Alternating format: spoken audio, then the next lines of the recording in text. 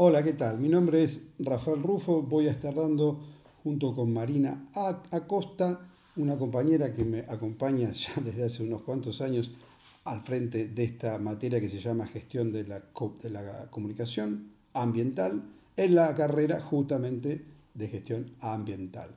Es para nosotros un gran placer, un gran gusto. Lo venimos haciendo desde hace ya unos cuantos años y con resultados que realmente nos alegran y nos asombran. Este, les voy a contar muy, muy brevemente de qué se trata. nosotros pensamos nuestro, eh, nuestra cursada como una serie de cajas chinas, yendo de lo más general eh, a lo más específico. ¿sí? Son entonces cuatro grandes módulos.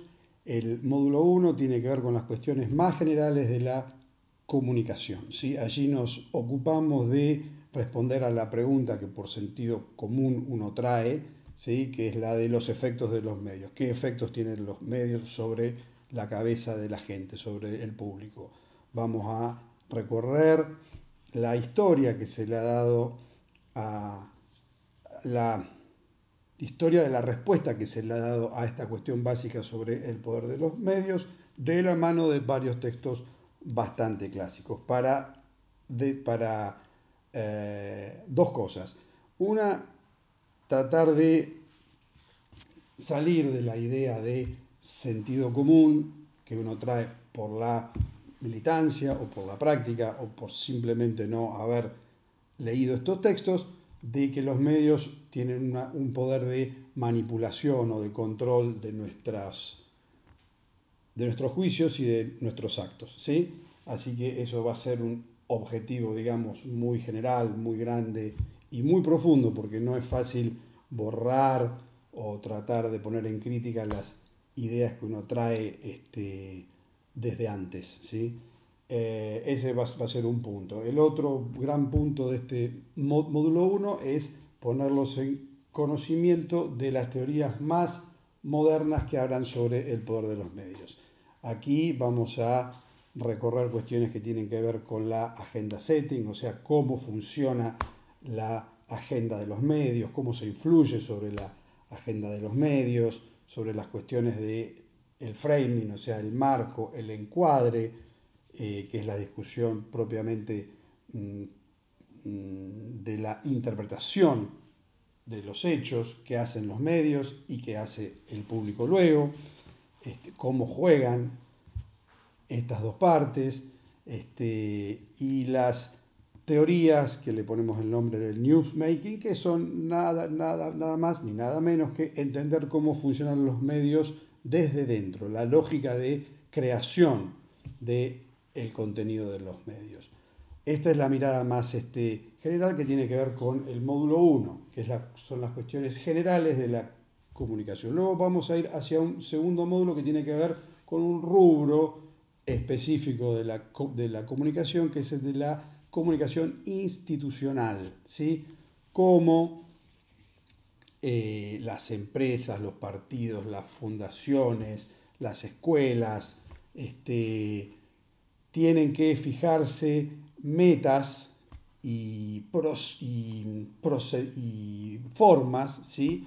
Para contarle al público las cosas que hacen y la importancia de ¿sí? Entonces, este sería como un segundo una segunda caja china un poquito más mm, eh, real, ¿sí? más, más práctica.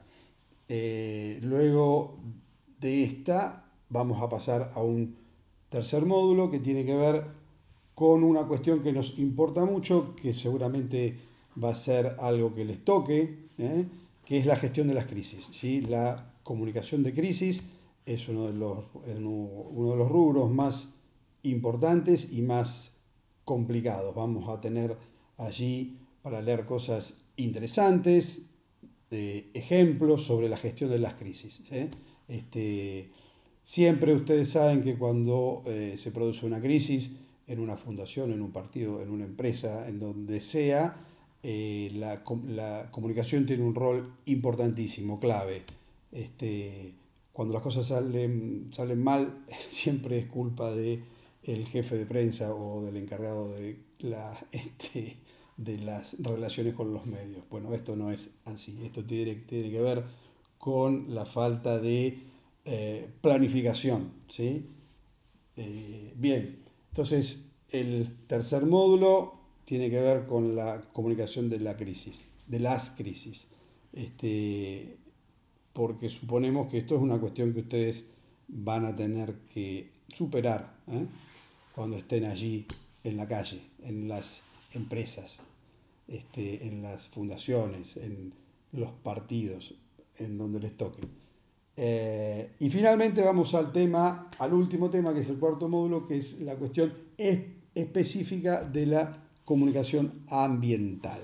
Allí nosotros descubrimos con el curso de los años que hay una vacancia, hay un, este, hay un lugar, hay un espacio que no se ocupa en los medios, que es el de la especialización en la, en la, en la comunicación de esta cuestión. ¿sí? Este, no hay en los diarios, en los grandes medios, especialistas. Eh, los frames, los marcos, las formas en las que se cubren estos temas este, son bastante obvias y bastante mm, ideologizadas y siempre se las mira desde un solo lado. Así que nosotros creemos que de la mano de algunas lecturas teóricas bastante nuevas y de la práctica nuestra y de lo que ustedes sepan, ¿eh?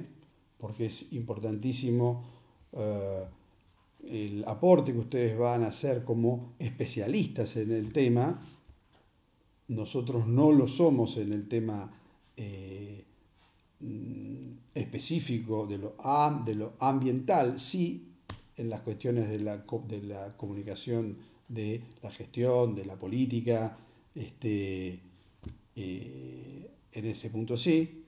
Entonces, en este diálogo vamos a tratar de descubrir eh, cuáles son las oportunidades que nos brinda esta vacancia importantísima que hay en el tema de la comunicación específicamente ambiental.